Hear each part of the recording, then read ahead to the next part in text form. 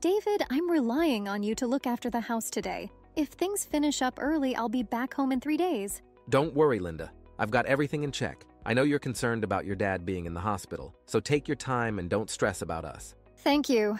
I've restocked the fridge and freezer, but if you don't have time to cook, consider taking Lily out for a meal. Got it. That'll make things a lot easier. Great, I've got to go. They're starting to board the plane. Take care. Send my regards to your parents.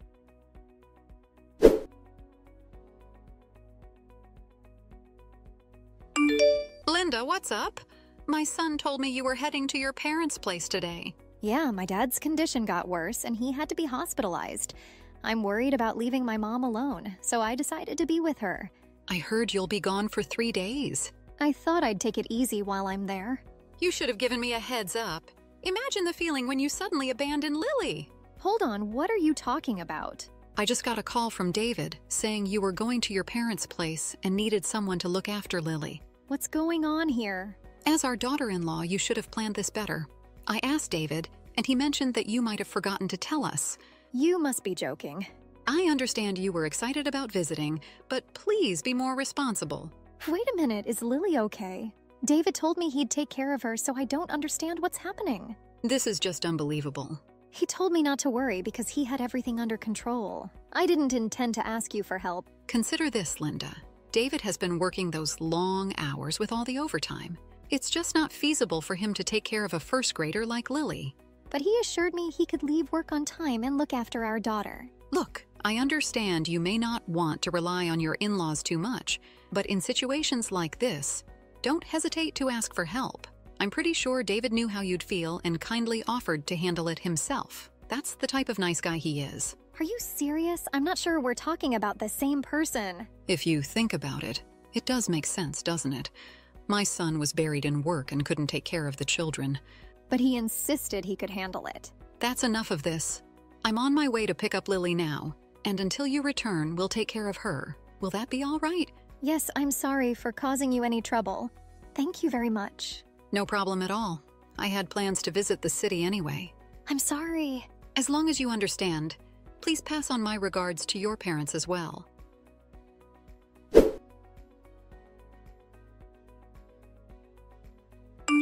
What's happening here, David?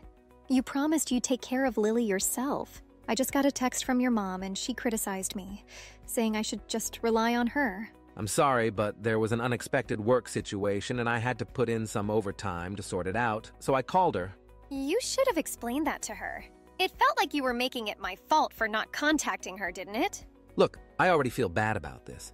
I thought I could handle looking after our daughter alone, but I was too embarrassed to admit that I couldn't, so All this just to save face. When I return, you're going to clarify everything with your mom in front of me, right? got it.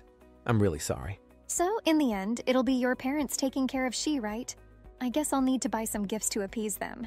Okay, I'll pay you back later. If possible, grab some local craft beer for me. I'll see what I can do. Take care, work hard, and look after Lily, all right? Okay, I got it.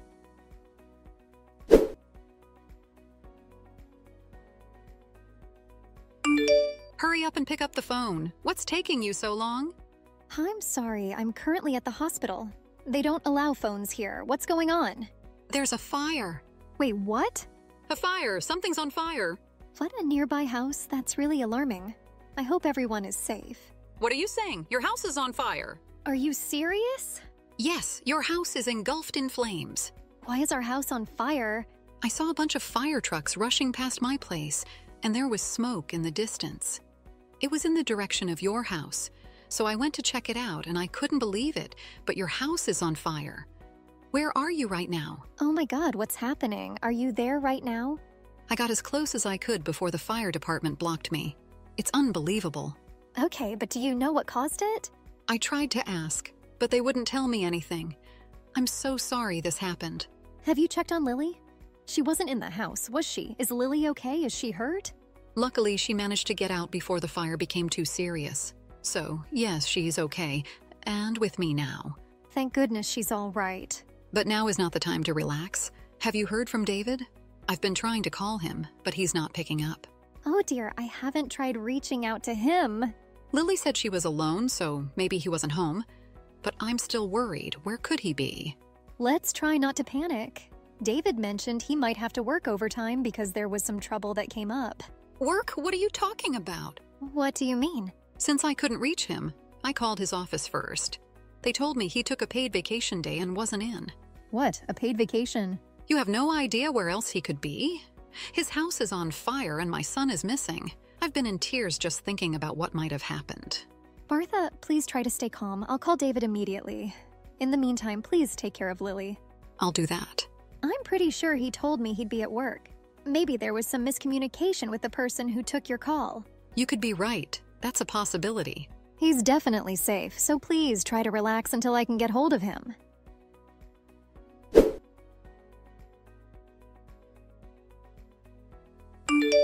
Need to call me back right now. Something terrible has happened. What's wrong? I already told you I'm dealing with a work issue. I'm quite busy at the moment. Your calls have been really annoying. I'm just relieved you're safe. What are you talking about? David, where are you now? What do you mean, where?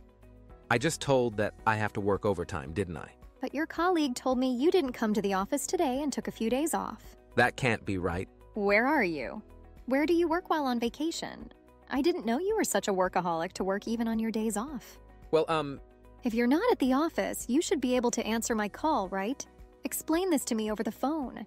uh, well, you see, I can't talk on the phone because the signal here is really bad. Bad signal? Where exactly are you? The subway. Look, I just arrived home. I got off at the station. You must be joking. The subway? What are you talking about? What do you mean? It's late, and I need to get dinner started, then give her a bath. I'm quite busy right now, so I'll talk to you tomorrow. You're cooking dinner and giving her a bath? Are you really at home? Of course, where else would I be? The home you claim to be in is currently on fire. What's going on? So, what exactly were you planning to do while our house was on fire? Cook dinner for our daughter and give her a bath? You're really something, carrying on with your routine amidst a fire. House on fire? What are you talking about? No, what are you talking about? The house is on fire and Lily is with Martha. In the midst of all this chaos, where were you, her father? Well, Come on, explain it to me calmly. What are you doing with those vacation days? Where are you? well, I, uh, naturally I decided to take paid leave, you know? Wow, so you can just spontaneously take vacation days? How nice. And it took so much coaxing to get you to take a day off for your daughter's career day. Well, that was just a busy time. So, where are you now? You said you were on the subway, right? I was actually at the convenience store. Then you should be able to come home soon, right? Come home immediately. I just got back from my flight and will be home soon. Well, it's not that simple, you see. What now? It only takes about five minutes for you to return from the store. Your parents live nearby. You can go there if you want. Hear me out. I know I said the corner store, but what if I told you it was in the next state over? Excuse me? I'll be back tomorrow. Sorry, my battery's dying. I have to go. What the hell are you talking about? I just can't return right now, okay? I will leave Lily in the care of you and my mother.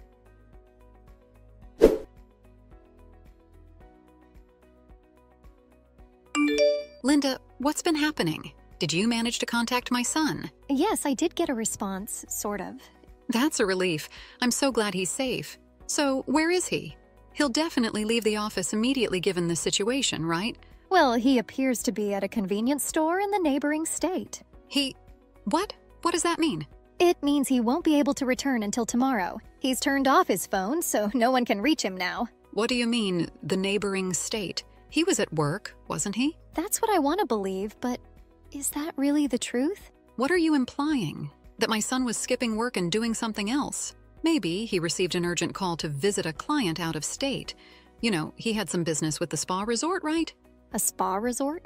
After giving it some thought, I realized I have a GPS tracker on my phone. A friend recommended it because you never know when dementia might strike at our age. Oh, I do recall you mentioning that. So I asked David to set it up for me, and for practice, I put his phone's GPS info in. Really? I was planning to switch it back to my information, but forgot how to do it. So David's GPS info is still active. So that's how you found out he's at a spa resort in a different state? Exactly. David's company handles some marketing work, so it's probably related to that. Would it happen to be Hallmark Resort and Spa? You guessed it. I recall seeing a brochure for that on the coffee table. I thought he was planning a family vacation or something. Or something? Are you insinuating that my son is cheating on you? I haven't used that word yet. But it's interesting that you immediately went there. Could it be that you're the one who suspects he's being unfaithful? That's impossible. What kind of parent doesn't trust their own child? That's a wonderful quote for a throw pillow. But what do you really think? I'll be there sometime in the middle of the night. Sorry for the inconvenience, but please take care of our daughter until then. Of course, no problem. I added a little extra to your dinner, so feel free to have it when you get here. Thank you very much. I'll see you shortly.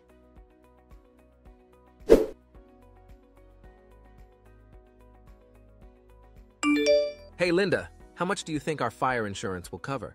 Seriously? That's the first thing you say to me? I just went to the fire site, and everything is soaked from the firefighters. It's a total loss, and we'll have to rebuild the whole thing. So I'm curious about the insurance payout. I hope it's enough to build one of those new smart homes. Really? Is that what's on your mind right now? Why are you so casual about this situation? Well, given the circumstances, money matters right now, so I'm just thinking, practically, You're unbelievable. I'm sorry about yesterday. I got a sudden call from a client in the neighboring state and couldn't get away. I'm really sorry I worried you so much. Is that the story you're going with? So let's use this experience to come together as a family and appreciate what we have. We'll start by rebuilding our home. I know you have doubts, but I promise this family means everything to me. This family means everything to me. Spare me, I want a divorce. The game is up, you cheating scumbag. What are you talking about?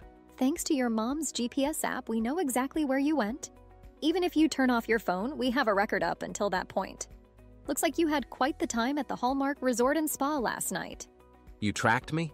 Early this morning, I went to see the remains of our house, including the man cave you never let me enter. The fire left it wide open. You went inside? I told you not to. Of course, I had a look around. Now I have a mountain of evidence that you cheated on me. Oh my god. I couldn't care less about the fire insurance money. Be prepared for significant alimony and child support payments. You've got to be kidding me. Linda, this is all a huge misunderstanding. I was just playing around, none of it was serious. I don't want to hear any excuses. David, you put your daughter's life at risk. You left a first grader home alone to go on a spa vacation with someone else. Do you realize what you've done? Look, I'm sorry, and I deeply regret my actions, but I thought she'd be fine for one night because she's already in first grade. You left some easy to heat frozen meals, so I thought she'd be okay. Lily tried to microwave one of those frozen meals, just like she's seen me do countless times. But instead of using plastic wrap, she used aluminum foil. Oh no, An adult would understand the problem with that. But Lily is just a child. They understand a lot, but not everything. You left her alone in the house. I'm truly sorry. Let me try to make things right. If apologies were enough, there'd be no need for the police. You're going to be held responsible for all of this. I can't believe you came back as if nothing happened. After the divorce, you won't have any contact with your daughter. What? That's not fair.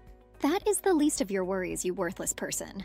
I have the divorce papers with me now. Come to your parents' house. You'll sign them in front of your parents.